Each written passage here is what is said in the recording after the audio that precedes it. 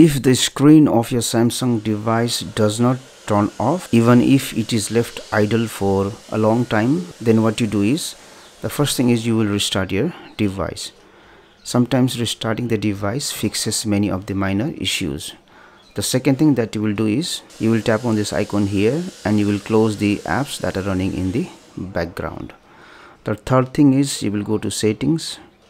You will scroll down go to device care go to memory and you have to tap on this button clean now.